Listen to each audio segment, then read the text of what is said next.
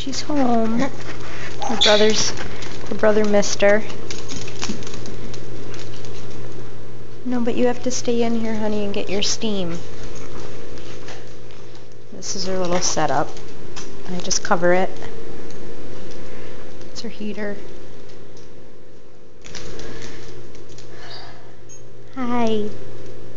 You're breathing so much better, Mia. Everybody wants to see you. See her boo-boo on her neck where they put her catheter in her jugular.